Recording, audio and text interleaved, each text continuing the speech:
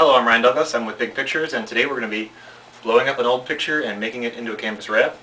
This is the picture right here we're going to use. It's a picture of my grandfather.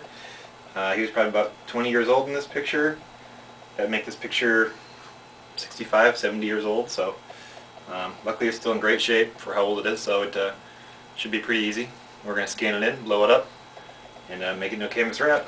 And when it's done, it'll look something like this here. Probably go a little bit bigger than that, but that's about what we're looking at. So let's go scan it in. Okay, we're going to scan it in to the uh, computer. We like to scan it in at at least 300 DPI. That way it makes it easier to blow up if you scan it in lower than that.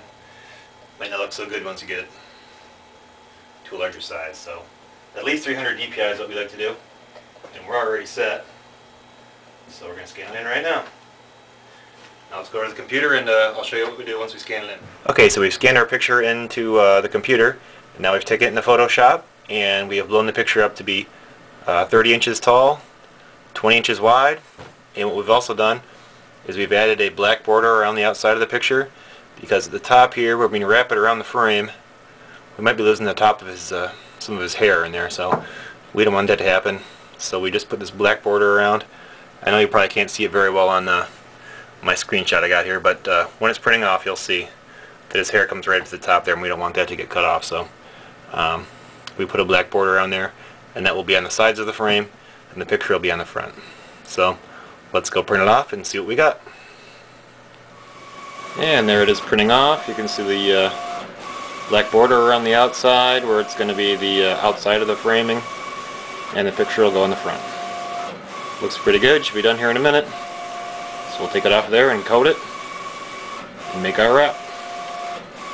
Okay, now it's done printing and what we're doing now is we're putting on a clear coat and this will protect it from uh, scratches, abrasions, cracking, uh, sun damage, you know, pretty much anything. Your kid spills pop on it, you can just wipe it off and uh, you're good to go. So get a nice even coat on here and we will be ready to frame it up.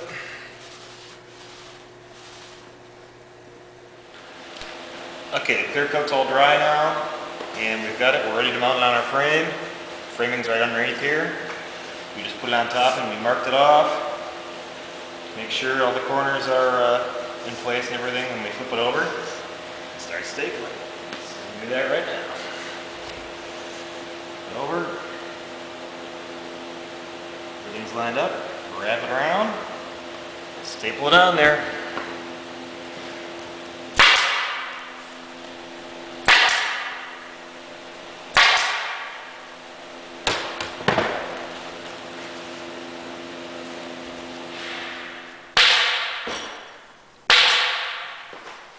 Should do it. Let's see what we got here. There it is. There's my grandpa. Does he look like me?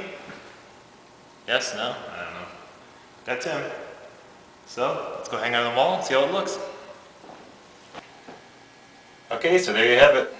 We've taken this picture, scanned it in, blew it up, printed it, made it into a gallery wrap. Here's the finished product right here.